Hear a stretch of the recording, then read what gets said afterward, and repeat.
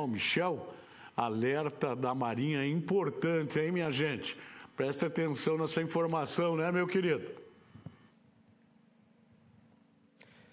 Exatamente, Tony. Tem alerta da Marinha, então, vindo aqui para o sul do nosso país, é claro, aqui para o estado do Paraná também. A Marinha do Brasil informou sobre uma depressão tropical que está atuando neste momento em alto mar, na região da cidade do Arraial do Cabo, no, no estado do Rio de Janeiro, com deslocamento aqui para o sul do país.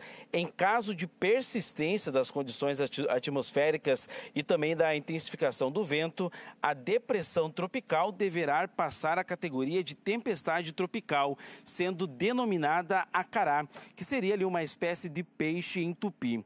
A atuação desse sistema meteorológico poderá causar ventos de até 45 nós, ou seja, 85 km por hora, principalmente nos setores leste e sudeste, e ondas de até 5 metros no entorno do ciclone até a noite do dia 21 de fevereiro.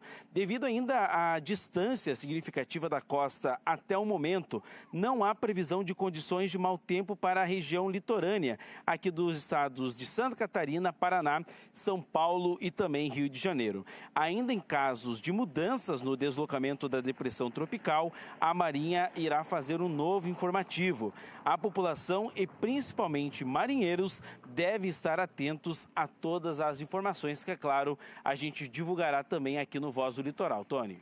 Muito bem, obrigado, Michel. Temos que ficar em alerta, né?